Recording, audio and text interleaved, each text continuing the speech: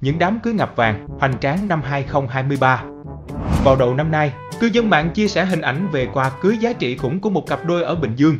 Theo đó, trong lễ gia tiên, mẹ chú rể tặng cặp đôi 200 cây vàng, bố cô dâu tặng cặp đôi 30 cây vàng, 30 sổ đỏ, hai hộp xoàn, một xe ô tô BMW, một đồng hồ Rolex, hai căn hộ cao cấp và trao nửa quyền điều hành công ty cho cô dâu và chú rể.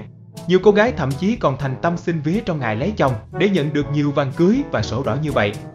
Được biết, cô dâu và chú rể trong đám cưới ngập vàng là Trang Phạm và Tấn Lộc đều sống tại Bình Dương. Cặp đôi cũng mạnh tay chi tiền để có một đám cưới cổ tích. Đến đầu tháng 3 năm 2023, đám cưới của cô dâu U40 ở miền Tây khiến nhiều người ghen tị bởi quà hồi môn là 30 cây vàng và 10.000 USD tiền mặt.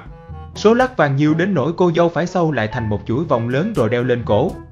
Ngày 28 tháng 5, mạng xã hội lại chia sẻ hình ảnh cô dâu đeo vàng triểu cả cổ trong lễ nạp tài siêu khủng diễn ra tại huyện Thọ Xuân, tỉnh Thanh Hóa. Tại buổi lễ, cô dâu được bố mẹ đẻ trao 20 cây vàng và 5 tỷ đồng. Bên cạnh đó, cô dâu chú rể còn được anh em họ hàng, bạn bè tặng rất nhiều vòng, kiên vàng.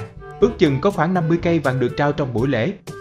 Đầu tháng 11 năm 2023, một đám cưới ngập trong vàng khác ở Thanh Hóa cũng gây xôn xao dư luận. Đó là đám cưới của chú rể Quy Tùng, cô dâu Thảo Vi ở thành phố Thanh Hóa. Trong ngày vu quy, trên cổ cô dâu và chú rể đeo hàng chục vòng, lắc, nhẫn vàng.